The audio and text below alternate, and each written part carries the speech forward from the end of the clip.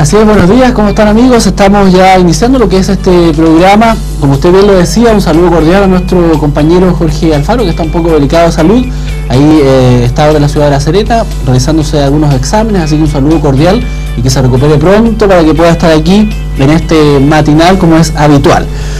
Vamos a, tener diversas informaciones el día de hoy, algunas noticias de la ciudad de La Serena, lo que pasa en nuestra comuna y para iniciar vamos a dar la bienvenida a la coordinadora de la Oficina de Protección de Derechos Infantos Juveniles, Tamara González, para que nos comente sobre el trabajo que ha estado desarrollando esta institución durante estos meses. ¿Cómo estás Tamara? Buenos días. Bien, buenos días.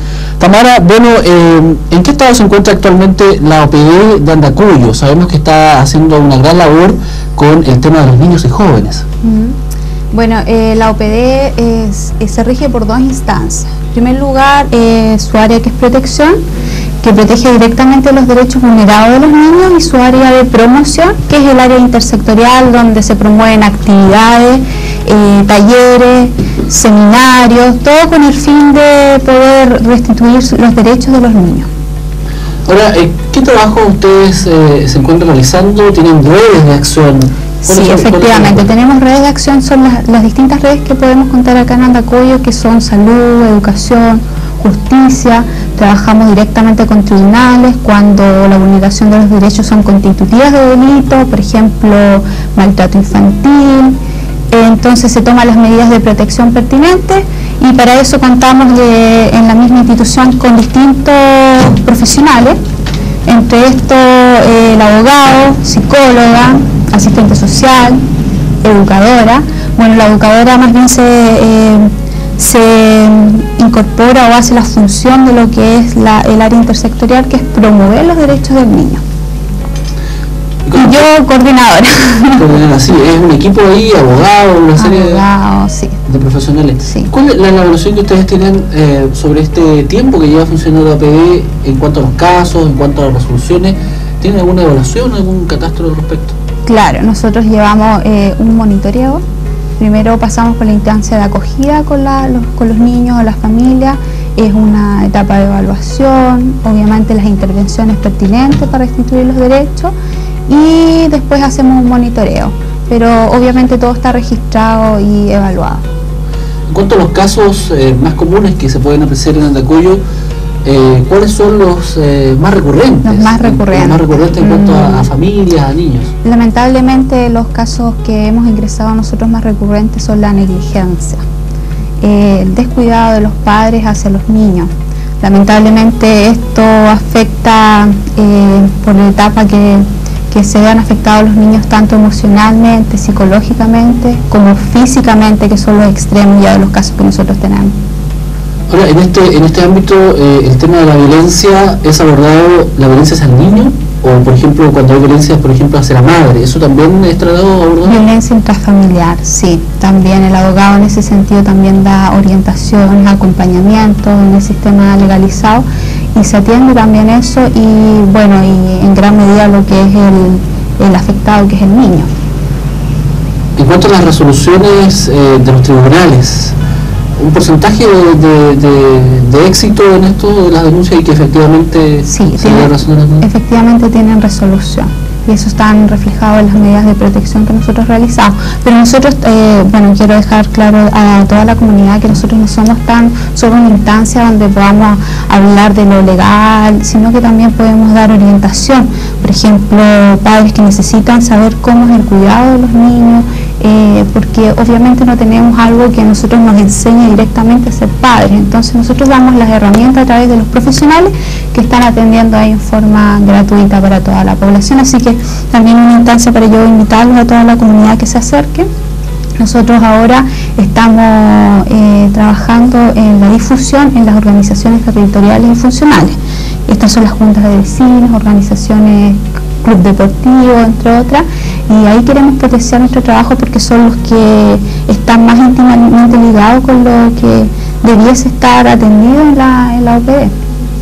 Ahora, en este ámbito de la, de la educación de la OPD, ustedes están realizando también un seminario el día de mañana. Sí, efectivamente. Estamos, vamos a realizar un seminario, parte de las nueve y media hasta las cinco y media, es un seminario donde van a venir el Centro Reparatorio Tupay, que atiende, bueno, también agredidos, pero también agresores.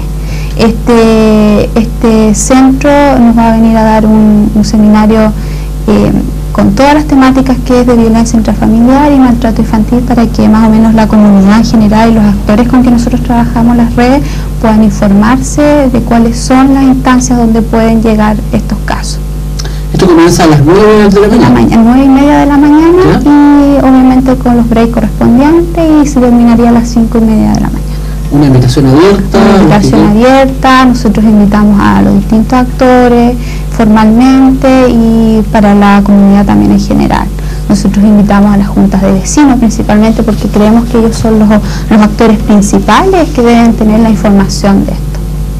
Ahora, eh, en cuanto a los temas que ustedes van a, realizar el día de mañana, ¿existe algún, programa, alguna pauta? Eh, sí, los programas los vamos a entregar en la mañana para la gente cuando se acerque y ahí salen todos los temas que en el fondo es violencia intrafamiliar y maltrato infantil.